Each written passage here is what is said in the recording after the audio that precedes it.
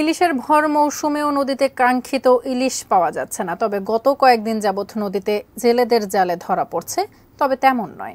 বরিশাল নগরের port road থেকে আরও জানাচ্ছেন আমাদের সহকর্মী মোহাম্মদ হুমায়ুন কবির।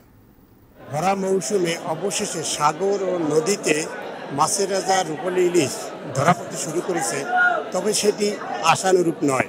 কারণ এই সময় অন্য অন্য বছর প্রচুর ইলিশ ধরা পড়তো তখন ঝাঁকে ঝাঁকে রূপলি ইলিশ ধরা পড়তো জেলেদের জালে।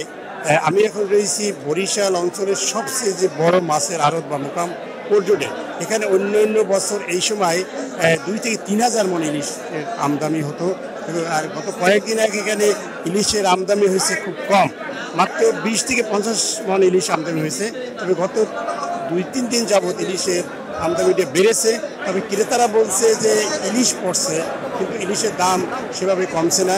আজকে যে ইলিশের বাজার, বরিশালে ইলিশের বাজার আমি জানিয়ে দিচ্ছি, যেখানে বারোশো গ্রাম ওজনের যে ইলিশ, এক কেজির উপর যে ইলিশ, তা প্রতিমন বিক্রি হচ্ছে বাষট্টি হাজার টাকা প্রতিমন বিক্রি হচ্ছে এবং এক কেজি ওজনের ইলিশ বিক্রি হচ্ছে প্রতিমন ষাট হাজার টাকা এবং এলসি যে ইলিশ যেটা আটশো থেকে নয়শো গ্রাম, সেটি বিক্রি হচ্ছে এখন বান্ন হাজার টাকা। আর পাঁচশো গ্রাম ওজনের যে ইলিশ, সেটি বিক্রি হচ্ছে চৌত্রিশ হাজার টাকা।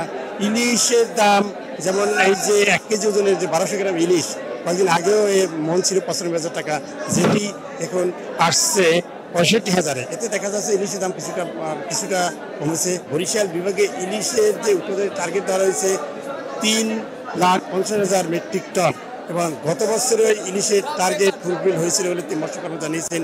ইলিশের যে এই অবস্থার কারণে আসলে অন্যান্য বছরের তুলনায় সেভাবে ইলিশের আমদানি আমরা দেখতে পাচ্ছি না এবং ক্রেতা সাধারণ তাদের কাঙ্ক্ষিত ইলিশ কিনতে পারছে না। এই ছিল আমার কাছে বরিশালে ইলিশের সর্বশেষ অবস্থা।